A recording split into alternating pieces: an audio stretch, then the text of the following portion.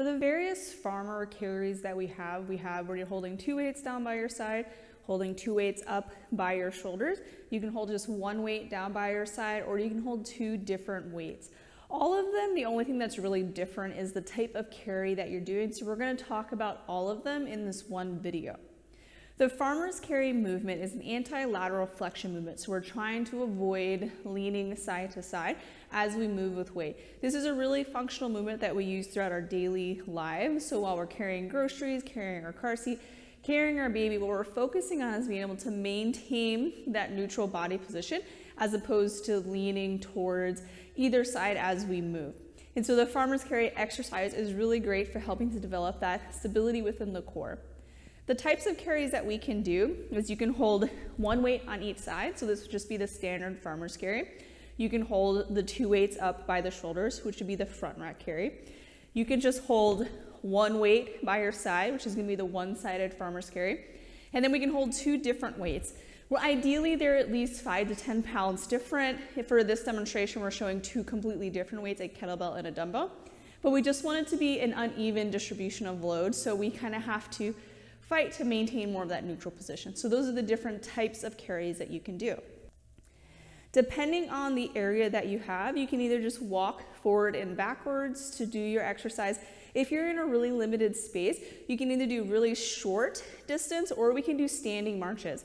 So what standing marches looks like is I'm just gonna maintain a stationary position as I lift one foot up at a time. You don't have to lift the knee up super high. It can be a very small steps, so just barely lifting my foot off the ground.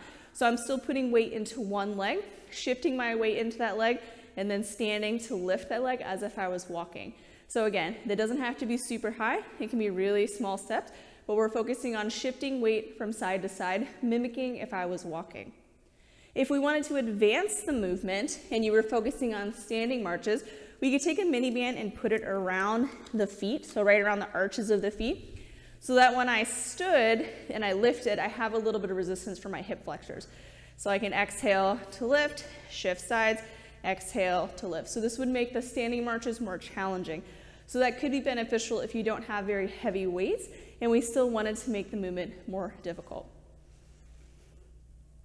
For the standard farmer's carry, if you do have space, we're just gonna walk. So you'll just walk back and forth depending on the length of your space. It doesn't have to be huge spaces. All of the exercises are gonna be timed. So it'll be 30 seconds or 60 seconds depending on how far you wanna go. And as I walk, I'm not trying to be super robotic or take really small and slow steps. I wanna walk normally, but I wanna focus on not leaning side to side as I move. So I'm trying to maintain that neutral position, avoid that lateral flexion from that side to side, as I walk. And so it'll be the same thing for all the different types of carries, whether it's the farmer's carry, the front rack carry, the one-sided carry, or the uneven carry for all of the exercises.